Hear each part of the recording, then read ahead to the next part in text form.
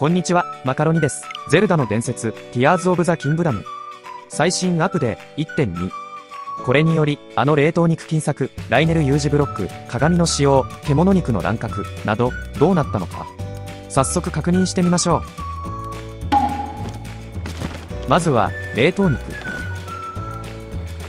肉を地面に置いたら凍る状態、雪が降ってる状態を確認し、早速試してみると。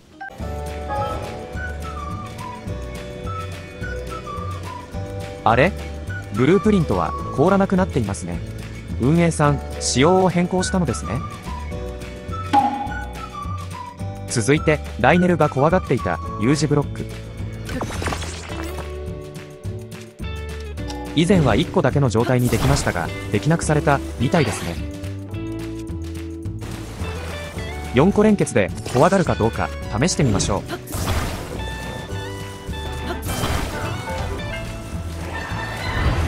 あら、一瞬で消されました。もう、怖くなくなったのか。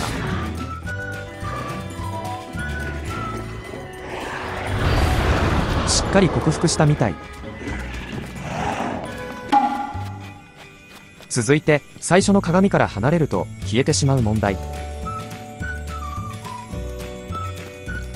あら、このバグは、そのままなのか。僕の中では、鏡のこの仕様は、バグだと思いたいところです。これが改善されれば、絶対面白くなりそうなんだけどな。運営さん、次回のアプデでよろしくお願いいたします。最後に、獣肉金作の定番、熊ぼこブリン。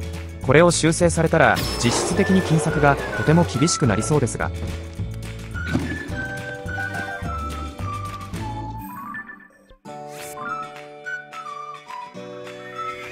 さあ、どうでしょうか？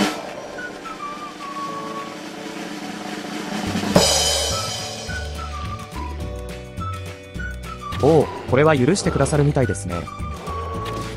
ワープマーカーで、リポップは健在のようです。はい、取り急ぎ、有名なバグ仕様、検証してみました。他に、ビトゥオダニのバグなども修正されたみたいです。